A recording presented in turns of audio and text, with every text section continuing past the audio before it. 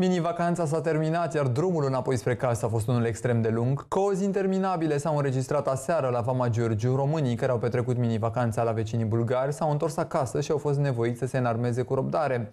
Poliția de frontieră a transmis că la intrarea în țară s-a lucrat la capacitate maximă pe șase benzi. Timpi mari de așteptare au fost și în Bulgaria la plata taxei de pod și pe drumurile din țară, în județul Olt sau chiar pe Valea Prahovei.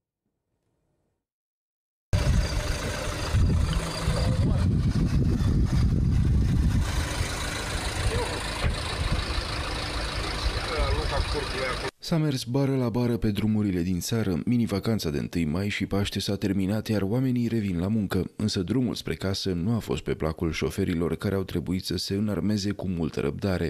Trafic intens și pe Valea Prahovei, pe drumul național 1, pe sensul de coborâre către Ploiești, între stațiunile Predeal și Sinaia, dar și pe raza localității Comarnic, iar pe Valea Oltului avem de asemenea aglomerație pe ambele sensuri de mers, pe tronsonul cuprins între localitățile Călinești și Călimănești, dar și pe raza localității, localităților Dumbrăvești, Drăganul Olteni și Varea Ursului. În județul Olt s-a circulat cu viteza melcului, iar oamenii abia au putut înainta.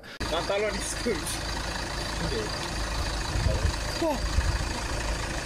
Stațiunile de pe Valea Prahovei au fost principala destinație a românilor de sărbători, iar drumul spre casă a fost unul extrem de lung.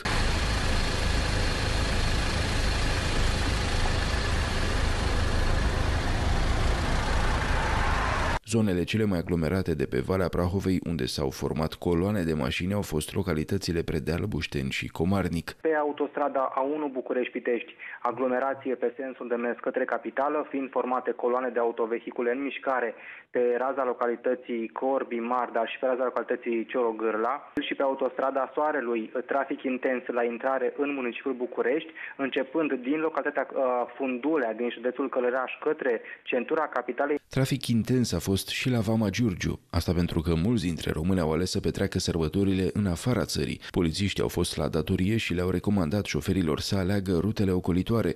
Cele mai mari două artere rutiere din orașul Ruse au fost foarte aglomerate.